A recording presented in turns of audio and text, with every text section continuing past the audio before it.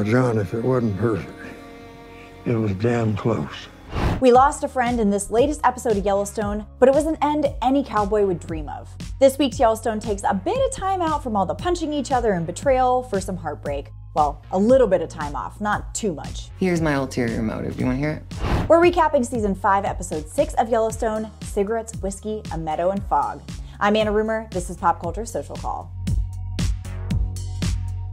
We last left the Duttons heading out on the gather to brand some cattle, and while it's mostly a contemplative experience for our crew, I don't like to share the things I find beautiful.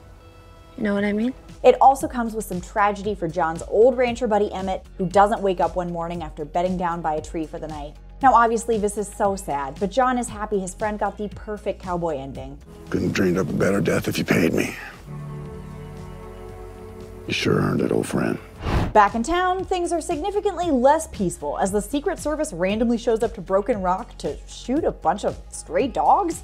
Okay, I get it, they're securing the area for a surprise presidential visit, but I don't think the Secret Service just goes out willy nilly shooting dogs. People really like dogs. Anyways, it was kind of a weird segue to Rainwater finding out that Angela helped organize the president coming by to endorse his political rival. And I'm excited to see more political tension from these two moving forward this season, as long as we leave the dogs out of it.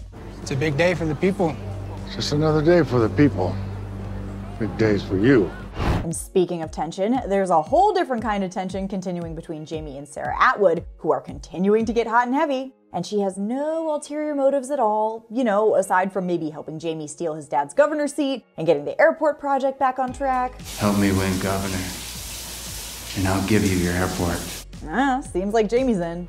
Now, back from the gather, John has to break the news to Emmett's wife. Now, this was a really emotional scene, and unbeknownst to him, the press catches the moment on camera. How? Like the cowboy should.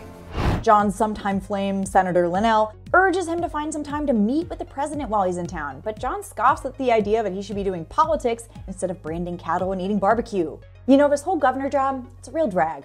And you know, it kind of looks like we're gonna get a happy ending with this episode, which is so not Yellowstone, but not so fast. Right before the credits roll, we're back with Jamie and Sarah, who I hope have gotten some Gatorade or something because they've been in bed this entire episode. Now, watching the news, the two are shocked to see John not being criticized for ghosting the president, but praised for his sweet moment with Emmett's wife. He's hard to beat in a fair fight. I don't think we can let him show up to the fight, Jamie. and let the scheming begin. Let me know what you thought of this week's episode in the comments. Like and subscribe on our channel and head over to popculture.com for the latest in entertainment news. Until next time, I'm Anna Rumor, and this is Pop Culture Social Call.